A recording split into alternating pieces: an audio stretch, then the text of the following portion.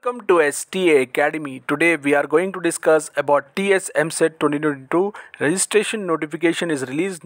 The students, I will tell you the date on which you have to start the registration for engineering, agriculture and medicine and list of documents that are required for registering for TS EAMCET 2022 exam. Before going to start the video i would like to tell you if you are new please subscribe to our channel. I would like to inform you we will upload mcqs uh, most important mcqs of physics chemistry mathematics botany and zoology on our channel. Let us see the notification that is released by jntu the in the notification ts EAMCET 2022 have to submit through online mode from registration which will start from 6 4 2022 to 28 05 without late fees.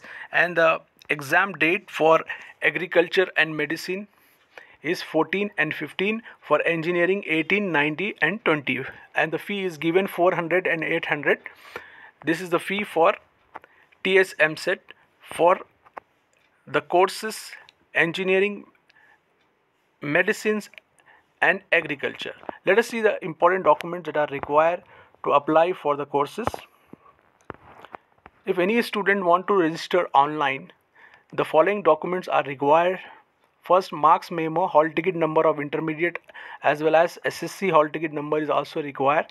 Birth certificate or SSC certificate, study certificate from class 1st to 12, caste certificate if you belong to a particular caste, Aadhaar card number, photograph of the student with a file size less than 50 KB in the JPG format. Signature is also on JPG format but the size should be less than 30 kb. And this is about the brief the documents that are required to apply for registration. And the date is also given. The agriculture and medicine date is 14 and 15 and the engineering 18 and 19 and 20 and the fee required is 400 800 for both the courses. So this is the fee uh, is available on the screen. You can check. According to that you can register through online. This is brief. For more update, please subscribe to our channel and share this video with your friend. Thanks for watching.